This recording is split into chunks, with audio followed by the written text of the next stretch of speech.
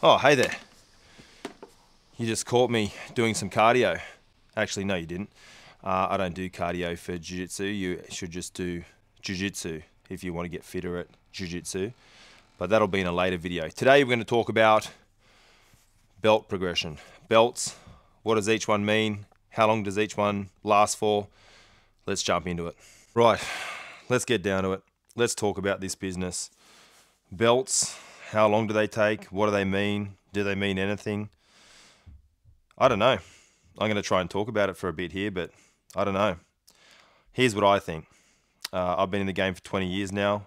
I've got a jiu-jitsu black belt. It's actually not the one that I wear. This is the one I got given, but I never wore this one. I Actually, nowadays, nearly never wear a belt. I only wear a belt to teach the kids classes. Um, I predominantly do no gi, and that's going to be a bit of a, a, fork in the road, isn't it? It's like uh, maybe belts mean less in no gi than they do in the gi. I don't know. But let's talk about this roughly. You've come here because you want to know about belts, or maybe you want to know my idea on belts. This is not the idea. There, um, there is no real right or wrong. Um, but what's a Brazilian Jiu Jitsu white belt? What's a Brazilian Jiu Jitsu blue, purple, brown, and black? So let's have a quick talk about it. Now, obviously, everybody starts on white belt. That's the beginner rank. You don't require any, there's nothing you need to get into the game at that stage. As long as you're willing to rock up to a gym, show up, make the effort to get out of your car and go inside, you're going to get a white belt. Congratulations. Now, here's the thing with that. Um, most people start at white belt and maybe finish at white belt. Unfortunately, they come in, they don't like it, they move on, they do a week or two, maybe they do a few months, they never go back. They get forced into a membership by their uh, pushy gym owners, and next thing they've signed their life away and they've lost a, a year worth of wages for jiu-jitsu that they never used and that's unfortunate. Now the rest of us that stick around and keep going with it where do we go next? From white belt we go to blue. Blue is that next step up above from white belt. Then we go to purple then we go to brown, then we go to black. So I'm going to show you what I think roughly the standard is for timings and then what could lead someone to go longer or shorter on that. So I've got my trusty whiteboard up behind me and uh, I've stolen this from a buddy of, well, I haven't stolen this whiteboard. I've stole the idea of a whiteboard from my buddy James Smith. So thank you, James. Um, I think it works well for explaining things to people. Uh, excuse my shitty handwriting. But white belt, how long do people roughly stay on a white belt for? I would say anywhere from 12 to 18 months, maybe as a general. 12 to 18 months is probably like a general. Remember, these are very general. Some people are going longer, some people are going shorter. Most gyms, probably in a year and a half, are going to give someone a blue belt. They're going to rank them up to that next level. So I started out 2005. This is actually the white belt that I started with. This filthy, filthy, dirty. Look at it. It's gross. And back then, this belt didn't even have a. It was just like an old karate belt. It didn't even have a bar, like you see on the newer belts. And then I got some stripes on there. So some gyms do stripes, some gyms don't. Stripes are just another way to, you know, um, show incremental progression. Do I think stripes matter? No. Do I care about stripes? No. Do I use stripes with kids? Yes, I think with kids they're a good idea. So white belt. We go to blue belt. Now, what's a blue belt? Well, the way I see it, a blue belt, from my point of view, a blue belt is somebody who is just out of that beginner stage. They're, they're not an expert by any means, but they're one step above a beginner. And you know, if the way I see it, if they could go out on the street and they got into a fight with someone, could they handle themselves? Could they maybe hit a takedown? Could they maybe defend themselves? Yeah, hopefully. That's why I look at a blue belt. Now, how long do people stay on blue belt? Depends on a bunch of factors. Are they an active competitor? Are they some type of freak athlete? You know, are they a um, very fast learner? Are they someone who can compete, commit to large amounts of time and commit time to this endeavor? You know, are you a hobbyist who can get in one or two days a week? That's all going to be things that are going to dictate how long you stay at that rank. So 12 to 18 months on white belt up to blue belt. Then we go on to blue. How long do people stay there? I would say anywhere in the two year range is probably a reasonable indicator. So I would say anywhere between 24 months, maybe maybe plus, maybe 24 months plus, probably somewhere in that range, um, assuming you're you're an average individual. Remember, we're not going to choose the outliers here. There's the outliers that can spend six months on a belt that are crazy. They just go, they beat everyone.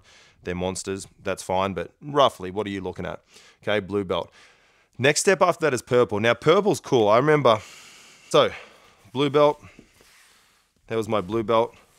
What I did, because I'm half autistic, what I did was I went out, I got given my blue my belts on the grading days, and then I would go out and buy this particular brand of belt that I liked, and it uh, had all my belts the same the same uh, brand. So that was what I did. But you can see here some stripes, blue belt. I had that thing for a couple of years.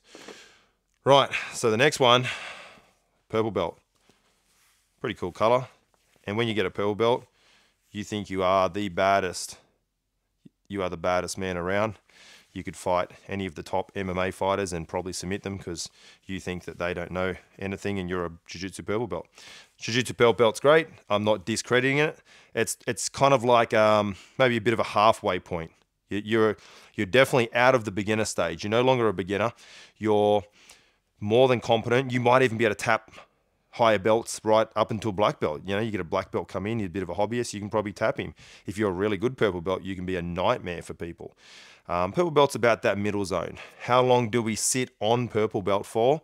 Again, probably similar to that blue belt. Most people sit there anywhere from 24 months plus, but I'm going to say maybe 24 to 48 months. Because people, it's a middle, it's that middle belt. People sometimes get bogged down there. They're like, you know, do I want to keep going? I've dedicated a few years to this sport already. Potentially at this stage, I'm probably at the, yeah, you spend a couple of years on purple belt, you're five, six years in the training. Most people don't stick with things for that much, you know, for that period of time. So purple belt can be a, a belt, unfortunately, where people stall a little bit.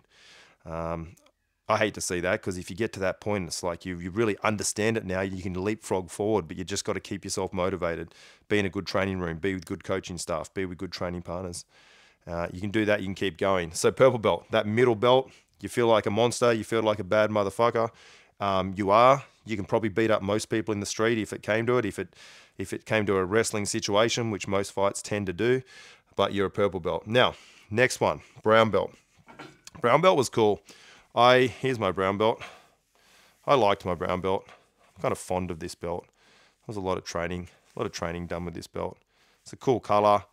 The way I see the brown belt is, you know, I think it's not shameful to be on a brown belt forever. Is there any is there any issues to being a brown belt forever? Should should everybody progress logically through these steps? And you might think, well, what's the point in having ranks if you're not going to always progress everyone through them? Well, we'll get to black belt in a sec, but here's what I want to say. Um, brown belt, something to be proud of, something to be massively proud of, huge achievement. You're, you're now a, quite a competent grappler. You realistically, if you're at a gym where they're teaching everything, you've probably got a few takedown options that you can hit on most people. You've definitely got some A game stuff that you can hit. You should have a fairly good understanding of a wide range of guards, wide range of passing. You should be able to escape all of the major pins. Um, especially if it's a lower belt, it should be with relative ease. Brown belt is is a very competent grappler, very competent. And most people or most gyms, I would say, if you get to brown belt, they're going to punch you onto black belt at some stage. You hang around another, I'm going to say, 24 months, two years. So another 24 months, maybe just out of that, maybe to 36. I reckon you stay around that sort of zone in most gyms, around that two year mark, they're going to start thinking, do I need to give him a black belt? And a lot of them just move you on a black belt and off you go and you do great and you get that next level. Um, brown belt should be a very competent grappler and it's nothing to be ashamed of. I don't think it's even be ashamed if you stay on brown belt either indefinite, indefinitely or for a long period of time. Have a think about that. I know that might be a bit of a salacious topic or a weird way to look at it, but I'm going to explain my thoughts on black belt a little more in a sec. So brown here. Okay, black belt. Well, I've got this black belt around my head here holding on my microphone, which I hope it's doing a good job of. What's a black belt? Well, I just gave out my first four black belts, and they uh, they were ranged in in years from four years for one of the individuals, which is pretty insane. That's nearly unheard of, all the way up to about 15 years for one of the other gentlemen. Uh, what's the average time to black belt? Average time from beginning to end I would say from time. So now, now uh, on our whiteboard up here, guys, we're going from beginning to end time. I would say 10 years is probably a good average for most hobbyist people that make their way to black belt, or most people that make their way to black belt. That's what I would say. Now, what's a black belt? Well, there is no standardization. There is no exact answer to that. Every gym, every coach every association are going to have their own ideas. Some have a syllabus they want you to do, and you have to move through certain progressions. Some of them will base heavily on your um, achievements in competition. Some of them will base on are you just a nice guy and a good guy to have around the gym. There's a whole bunch of things. What do I personally think? I think it's a rank of mastery to some degree. That's the way I see it. A black belt should be very competent in all areas, standing, on the ground, top or bottom. He should be able to escape all pins. He should obviously you put him against another, you know, high level black belt, it's going to be a battle, but this should be the general thing I'm looking for from a black belt. They shouldn't have too many glaring weaknesses. They're, they're still working on all parts of the game, just like I am. I'm always working on something new. I've had my black belt now for nine years. In December, it'll be nine years. Um, and you know what? I'm, I'm still improving parts of my game at all times, but I'm proud to stand behind my belt because of my competency, because of my ability. Now, some of you might be thinking, well, what if you're older? What if you're just a hobbyist? Yeah, I don't, I don't have a great answer for that. This is what I was sort of alluding to at brown belt. Does everybody have to get a black belt? I don't think so. That sounds rough, right? There's a lot of people that might upset, and I'm not trying to upset people at all.